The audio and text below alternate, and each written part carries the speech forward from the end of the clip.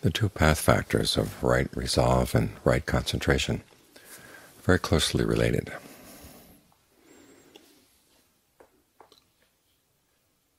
Right resolve is the intention you have in mind. You basically lay down the law for yourself, that you don't want to think in unskillful ways, because that leads you to acting in unskillful ways.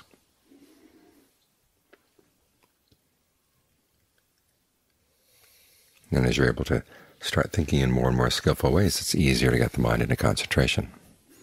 At the same time, concentration helps give strength to your resolve. As the Buddha pointed out, you may see very clearly that sensuality is uncomfortable. Excuse me. Sensuality is unskillful. But you still go for it. What you need is the pleasure that comes from right concentration. That gives you something else to hold on to. And this principle carries through all levels of the practice, even from the very beginning levels. You need to have a good pleasure to overcome your desires for unskillful pleasures. This is how you can start sorting out things in the committee of your mind.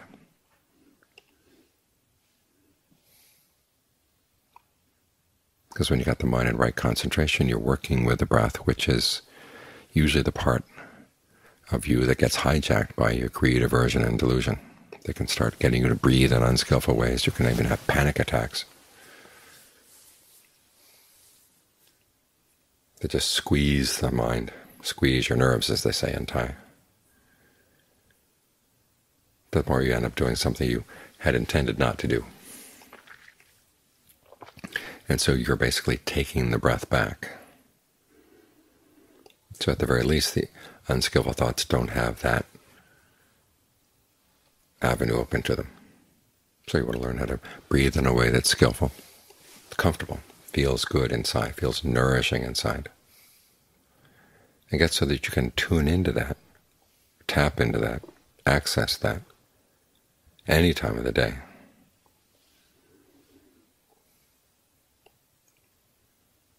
It's good. It's good to stop at random times in the day and ask yourself, where is a comfortable breath right now?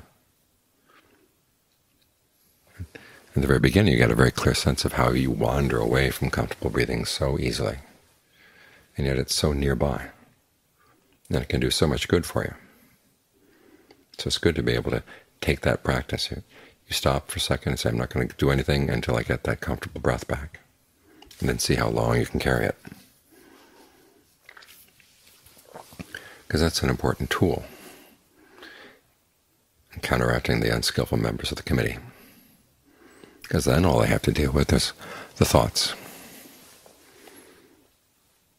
When an emotion feels strong, it's because it's taken over our breathing, and it changes your heart rate, changes the way you digest things. All kinds of things get changed in the body through unskillful breathing. And then you feel that you've got to give in to that unskillful intention, just to get rid of all the, the symptoms you're feeling in the body.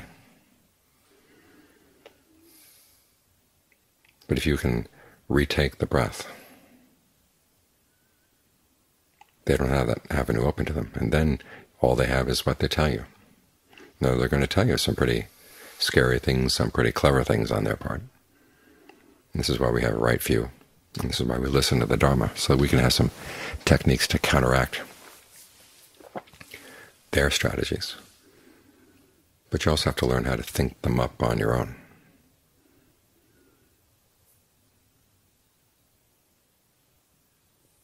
This is what the Buddha talks about heedfulness. Well, what kind of things can you think about that remind you to be heedful, that if you give into this particular type of thinking, it's going to cause trouble down the line? And learn to talk to yourself in that way. Develop that voice in your mind. Make that a committee, committee member as well. There's the element of pride. There's skillful pride in the practice.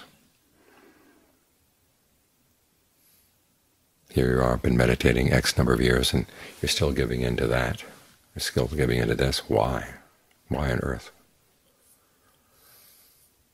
That goes together with that passage where the Buddha talks about different things that you can have governing your practice. One is a love of yourself, that you came to the practice because you really went to happiness, and here you are going back to something that's not so true. Do you actually love yourself? If so, why are you doing this? Then there's love of the Dharma. You're lucky that you found the Dharma.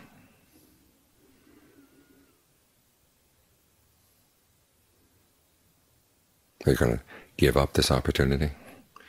And then there's that third one. He said, he says, taking the world as a governing principle. There are people in the world who can read minds. What kind of mind state are they reading in you right now if they happen to be paying attention to you? If you have any pride at all, you want to make sure that you're, at the very least, you're struggling with the unskillful states and not, not just giving in.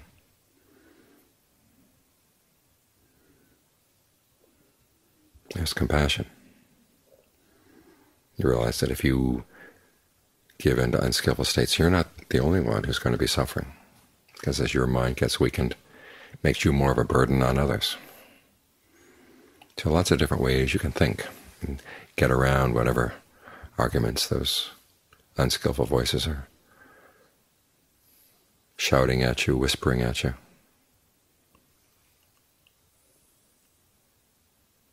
But right resolve is the part that lays down the law. And often this is something that's overlooked. We tend to just go with the flow and say, well, I shouldn't hold on to my views too tightly. But that gives your, your defilements all kinds of room. So remind yourself, you know, sensuality, that kinds of thinking that just keep going over and over and over, sensual pleasures that you had in the past or sensual pleasures that you'd like to repeat in the future. Something you really want to avoid. You really want to learn how to get past that.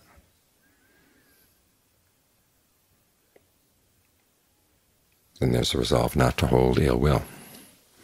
Some people find this easier than others, and you find this easier in some cases than in other cases. But you want to make it across the board. You don't have any ill will for anybody, no matter what they've done.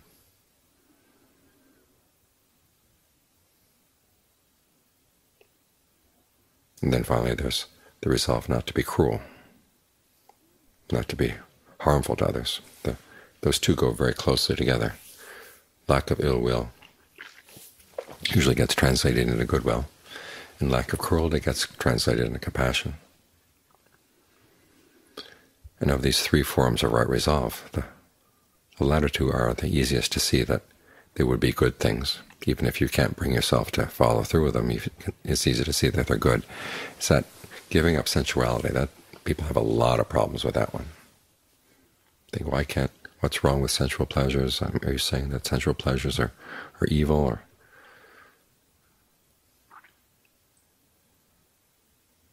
you're dissing an important part of human life? Well, you have to think about, okay, what happens to the mind when it keeps going over these things over and over again? One, it gets makes it harder to get into concentration, and two, it's bound to have an impact on your, your activities. If you give in to sensual thinking a lot, you tend to find that your precepts start getting sloppy.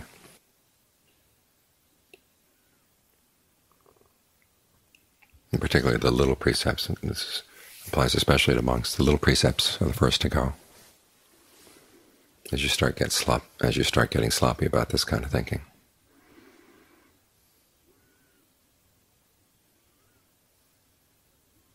And you tell yourself, well, that doesn't matter, but it's important. Because once the little ones go, then it's easier for the, the big ones to go too.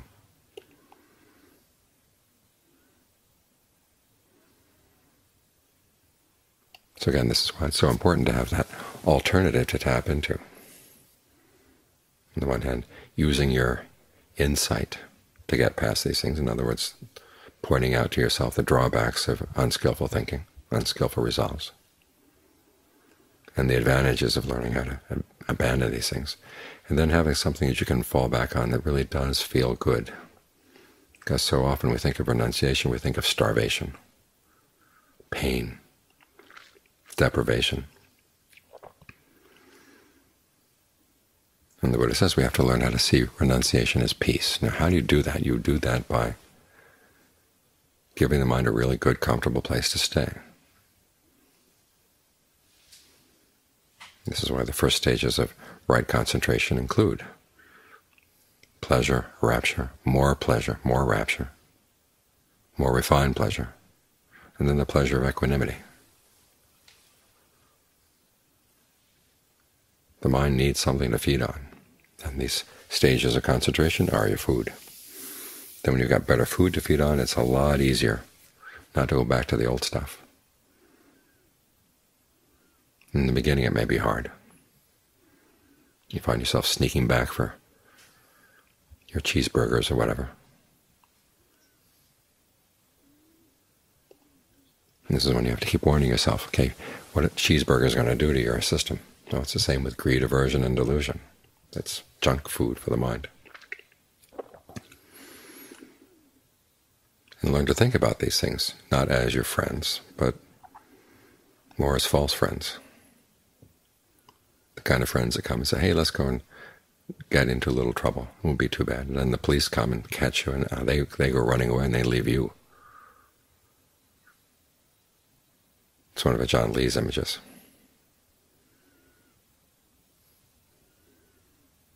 In other words, they're not responsible at all. These voices that come whispering in your mind, they're not responsible for the the suffering that can come about through giving in to them. In fact, they go running away when the suffering comes.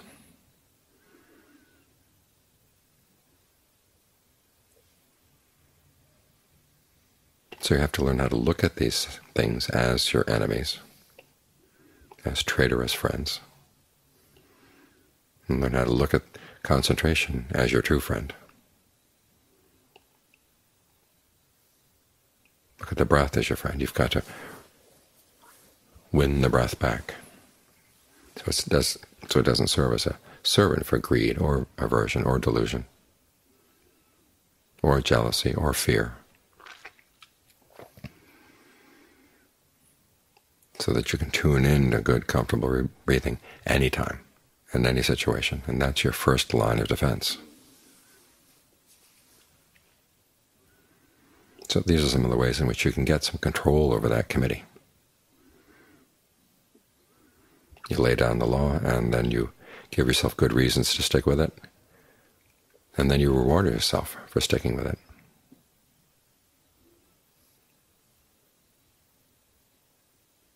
That way you train your committee so that the unskillful members get starved and the skillful members get strong.